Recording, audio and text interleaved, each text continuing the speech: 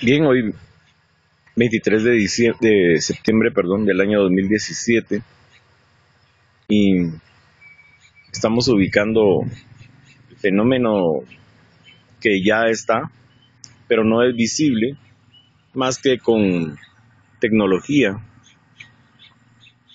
Y entonces tenemos aquí el, el, el oriente aproximadamente.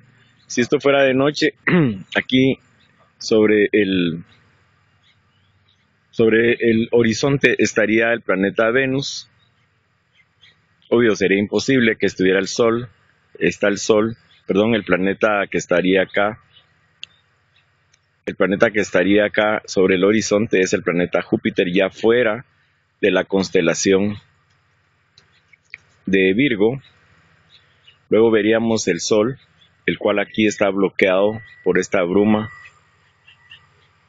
y encima tendríamos los tres planetas, Mercurio, Marte y Venus hasta arriba y la estrella Regulo, Regulus.